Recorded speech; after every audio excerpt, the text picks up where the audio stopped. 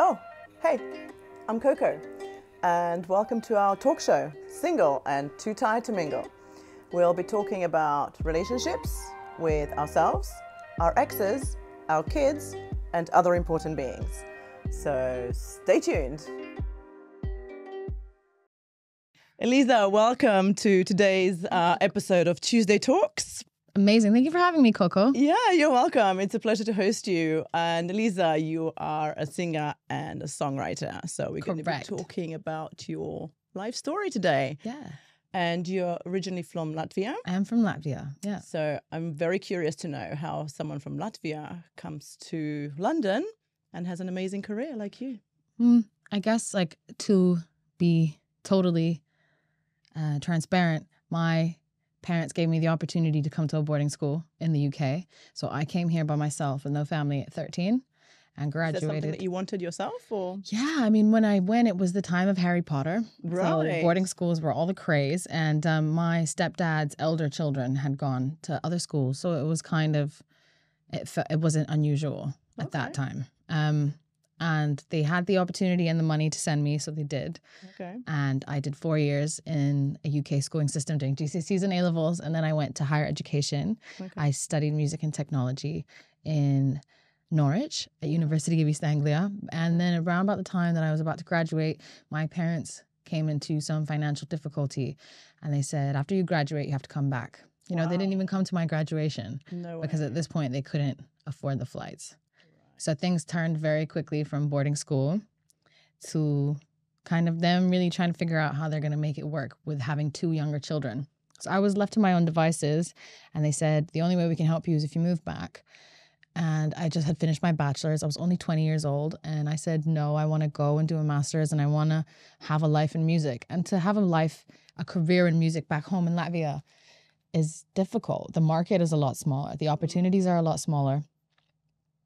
And well, it's not a global market, it is a smaller internal market with a language that is spoken by only 3 million people. So I had all my sights were always for the bigger stage. Okay. Um, and so I moved into my friend's mom's house who was going through a divorce. Right. And she kindly let me lodge with her. I paid very little considering like run London rates for rent. And I got two jobs, one at a pub and one at a telesales. And I started my master's and I funded it myself. Wow. And I just got stuck in because I knew that going back wasn't an option. Yeah.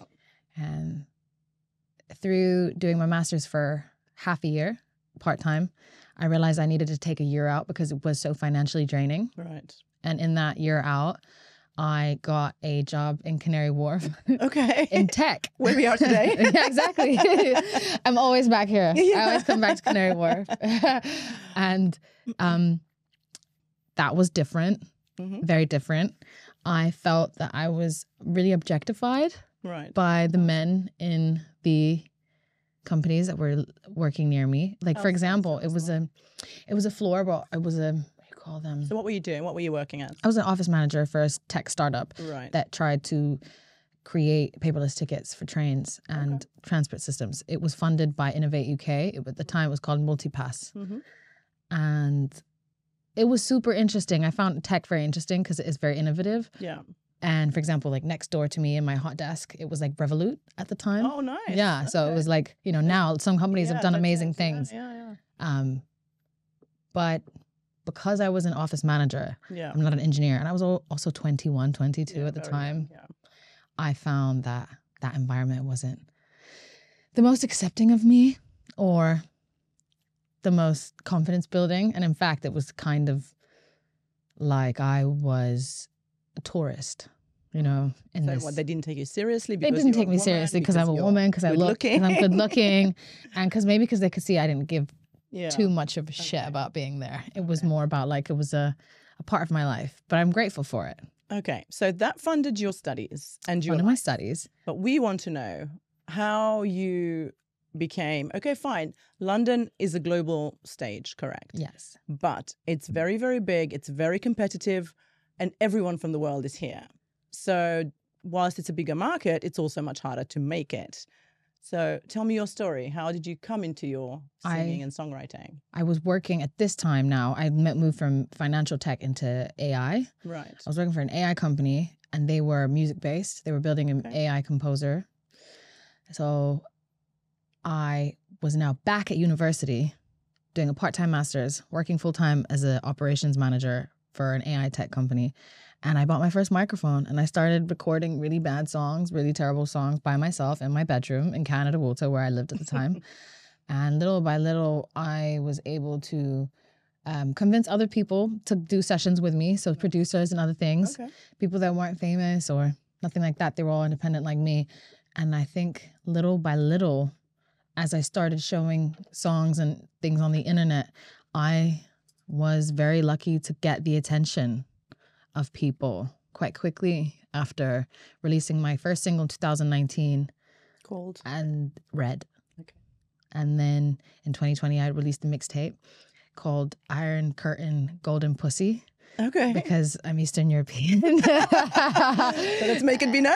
so let's make it be known. And I thought that like with um back home, I grew up with this vision of like a good woman looks like the girl next door. Yeah. A good woman doesn't ask too much. Hmm She doesn't show too much. hmm And it's all very contained around what a good woman is. Yeah. And Very stereotypical. very and I think that other women around the world can relate to it. So it's not just an Eastern European Yeah. thing. Uh, so Iron Curtain Golden Pussy is that the Iron Curtain, they're just trying to hide how much power women have. hmm They're just trying to isolate us. So I released this mixtape in 2020. And shortly after, in September, I did some work with a female producer called Laura, who changed my life because she put me on a record. She heard my stuff, Oh, nice. really liked it. She was like, come do something with me. I did something with her.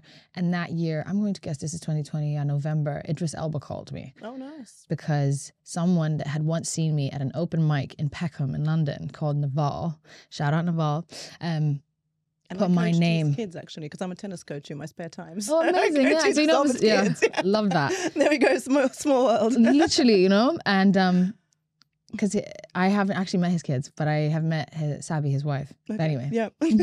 shout out Idris, That's shout out. Naval. Yeah. um, I jumped on one of Idris's tunes, and obviously Nice. that was when stuff really changed because people back home didn't get it.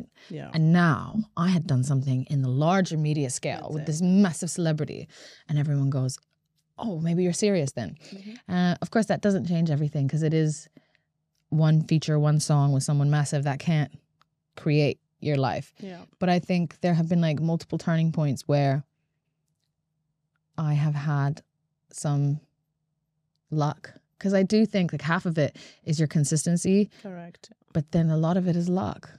How? Why did he find me? Why did Naval watch me at an open mic before I had any of my own music? And she remembered me Yeah. and then put me in his, um, uh, you know, potential options for a feature on that record. Um, so did the Idris Elba one. Time passed. I worked on some other stuff. Idris actually El- Elba signed one of my EPs to his um, record label, Seven Wallace Good for you. and I kept working a lot in sync. Sync is basically the music term for music for advertising Mm-hmm. um, and for commercials and things like Yeah. that. I started working really heavily in that because it is such a big part of the market in terms of like how musicians and artists and producers actually make money. Okay. Unless you have a song in the top 40, those radio plays don't add up to too much. I think like the BBC, I might be wrong, but the BBC play about 50 pounds per play. Right. So split between me and me as a producer and artist or whatever is 25 pounds each. Yeah. And then you take the label takes a little cut. So maybe we end up with like 20 pound a play. Yeah. And unless you're being played every day, a couple times an hour, Mm-hmm. there's no way you can make money in recorded music, which is why record labels exist. They're um, marketing infrastructures and they're banks. Whereas with Sync, you can make a piece of music that gets used by a brand and they pay you a much larger fee all in one Okay. for a certain amount of time. In 2021, I wrote a song still online at home with a producer via Zoom, and that got synced to a FedEx in January 2022. Okay. And then in 2022, in October, which is my birthday month, I got an Apple ad. And that kind of obviously meant that I never had to go back to doing any other work. Wow. And it just meant that I could focus my time on doing advertising music, but then also art music, um, go on tour and things like that.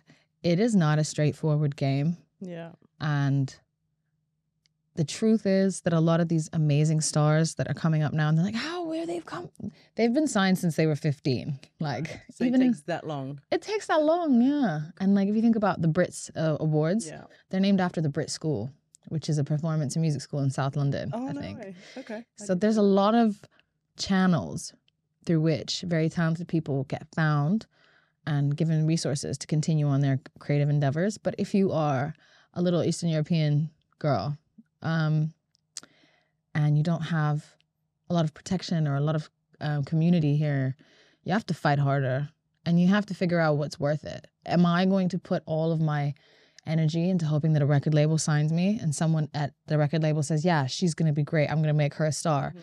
And I took the independent route and focused half my time on making advertising music, which is less glamorous, Yeah. but it meant that I don't have to take yes or no from somebody. It. Yeah. So I think it is for me a lot about regaining in- independence through understanding your business, Right. not just being the best at it or getting some kind of momentum through one big specific event. I think with all of us, our life success is like loads of little events that eventually all add up. I guess. Right. Yeah. Sure it wasn't just luck. Like luck. I think you always have to have that element of luck in life as well. I think you work hard. So the harder you work, the luckier you get. I guess Mhm. it's actually the saying, right? Exactly. So it's good. The hours add up. the hours add up. So tell us about your tour. You said you went on tour. I went on tour in the summer of 2020 with Rudimental. They did a small tour around the UK. I met um, Piers and Kesi and the boys from Rudimental, uh, I think the beginning of 2022. And we wrote some music together. And now it's finally been signed and it's coming out next week. Not next week, next month. I'm too excited. I'm like, next Yeah, week. I want yeah. to exacerbate the time. Um, oops. And, it, Amazing. and it's coming out through um, the same Naval who put me in front of Wow. Idris. She's now working for um, a label called 360 that's owned by Pete Tong and Calvin Harris and has a lot of really cool people that are working in it with it. Uh, and it's an independent label. So I think it's still relates back to my independent mindset. And it's been a long time uh, of negotiation and just in general making sure I have the right support and the right team around me because I'm a creator, you know, I'm, I was make gonna say, music. do you negotiate yourself, or do you have someone negotiating?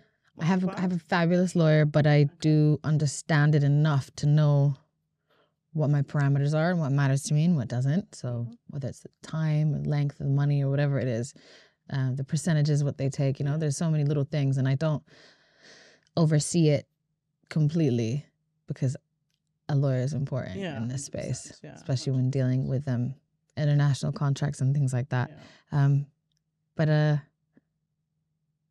I think music and business is very interesting to me. One part that I did miss out accidentally was a while when I left working for AI. I actually started in a music management company. Wow. So I toured some of Europe with a South African artist called Moonchild Sanelly. And I worked there for about a year and then COVID happened. And obviously touring and live Yeah. stopped. So I needed to re jig my Yeah. situation. Yeah. But um I've always been very interested in the middle of music and business and totally understanding how it works and I think that that has helped me in my career because I've started to understand how money comes from, where it goes, how it flows, who makes the decisions, why they make the decisions. like um yeah. so, are you going to uh, continue having your own little label? or- I do I have a little label called Mananaba Yes. which means um my belly button in Latvian. Okay. because I think that th- our female lineage and the power that we get from our mothers should never be forgotten. Mhm. And I love my mother very dearly, and she's sacrificed a lot in her life to give me the opportunities that I have, and she has fought for me and things. So Okay.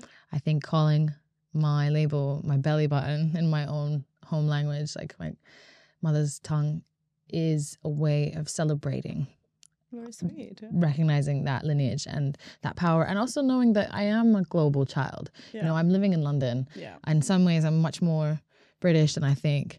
And you know, my partner's British and I love being here. London is my home. yeah. But I'm also Latvian and it's okay to be both. and- Absolutely.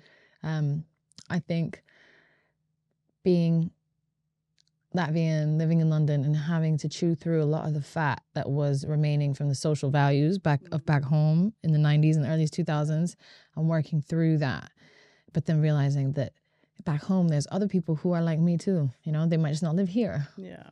and that an identity of a country isn't just what was the predominant fashion Yeah. or the per um the, the permitted behaviors. It's anyone can be from I think anywhere. London is so global as well. Once you're here, you have the whole world at your feet, really. So and you get everyone comes from somewhere, I think. So it's kind of like a nice mix of uh, every race, every color, every country. So and you learn so much from other people you know you become very open minded, I think, to a lot of things Yeah. that you don't, especially in maybe Eastern European countries who are very Yeah. um, uniform. they can be uniform Yeah. but to their own detriment and Yeah, often you see that when they travel out or have experiences that they might have been guarded against once they actually experience them or other cultures or the food or whatever Mhm. their barriers break down Yeah. and they they let the love in but it's much easier here because eh, like you said it's a global melting pot but back home is not So, what advice, kind of to end this lovely conversation with you, would you give to young hopefuls or up and coming girls, maybe specifically, yeah uh, that want to break into the industry like you have? study the greats Yeah. But know that your true power will come in your consistency and in how deep you delve into your strengths and your assets and do your own shadow work. Yeah. We all don't have to be the best singer, dancer, or something. There'll always be somebody who's better at something. But by making yourself as well rounded and also as refined as possible and just working on your craft seriously, putting all those tens of thousands of hours, it will lead you somewhere beautiful. And it might not look like what you think, but allow the process. Yeah. Just allow the path to happen. Eliza, thank you so much Thank for you, this Coco. today. It was such a pleasure hosting you. Impromptu. Yeah. Just tell us for the end, uh, what single are we uh, listening out Yes, yes. So um, I have an EP coming soon, but the first single of that EP is called "Come Roll with Me." It's drum and bass, and it was produced by my friend Slim, my friend Piers, and Kesi, who are of uh, Rudimental, and it just means the world to me. "Come Roll with Me" is this song all about actually telling people that they can be on your side, they can be on your team. It's about building longer tables, not higher fences, and breaking down the gatekeeping. So yeah, "Come Roll with Me" coming out in May 2024. Amazing. I'm getting goosebumps. Thank you so much. Thank you.